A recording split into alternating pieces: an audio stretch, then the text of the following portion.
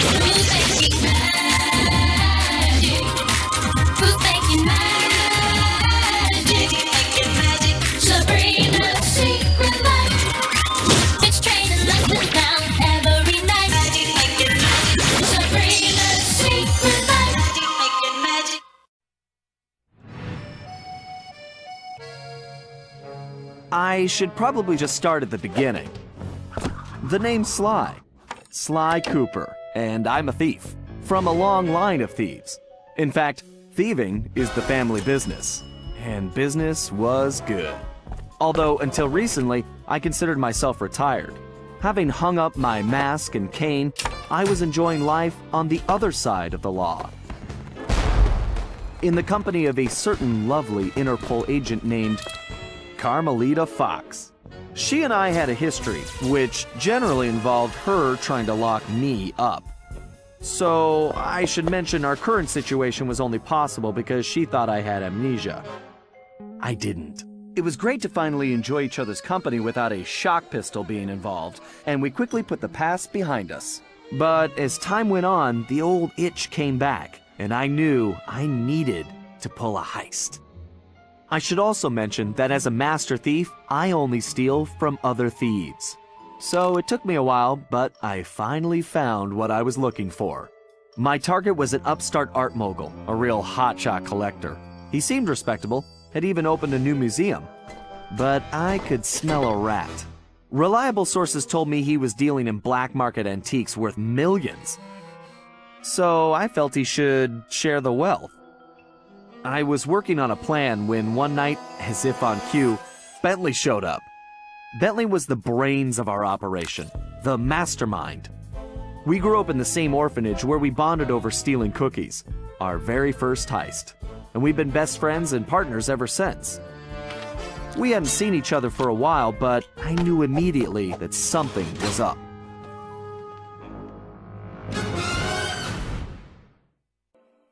Long ago, before the age of dawn, there's a age of light and peace, until the ancient threat controls darkness and fear, until an ancient hero in green wield the mighty blade of evil's bane to put an end to the darkness, along with the help with the sages to protect the Triforce and time itself. When the ancient hero was defeated with three ancient relics along the Triforce, the, the worlds have been saved along the universe with it. To a few generations, the next hero will arise from the light and put an end of the darkness once and for all. And this is this story.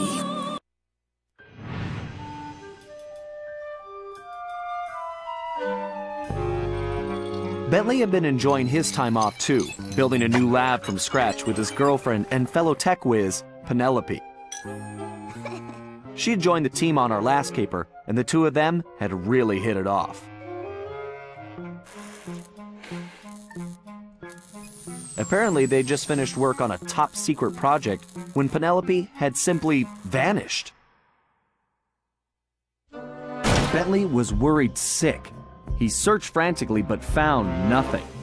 Then, he noticed something that completely stunned him. In his spare time, Bentley had been researching the Thievius Raccoonus, the Master Thief's Handbook passed down through the Cooper family for generations.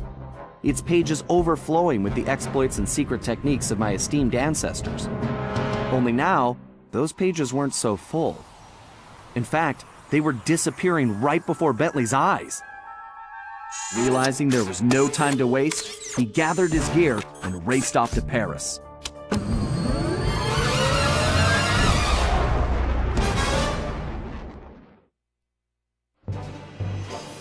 The first thing Bentley did was track down Murray, the third in our trio.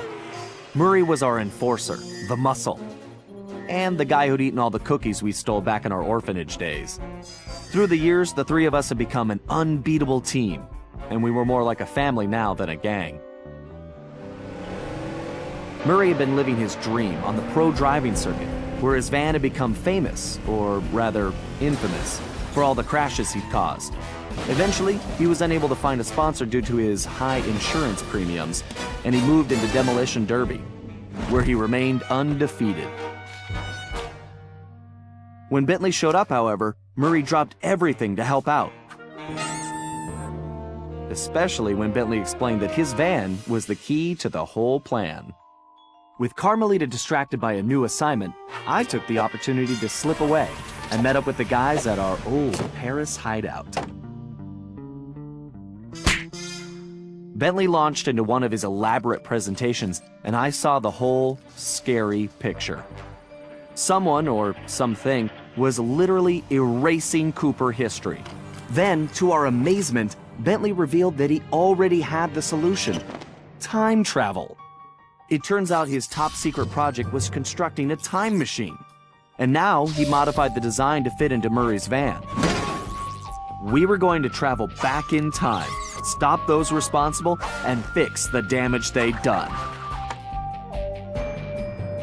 Bentley explained the only catch was that in order to travel to a particular time, the machine required an object from that era. We knew from the changes to the Thievius Raccoonus that our first stop was feudal Japan. So here we were, about to steal a priceless 17th century samurai dagger from the same museum I'd been casing. Funny how things work out sometimes.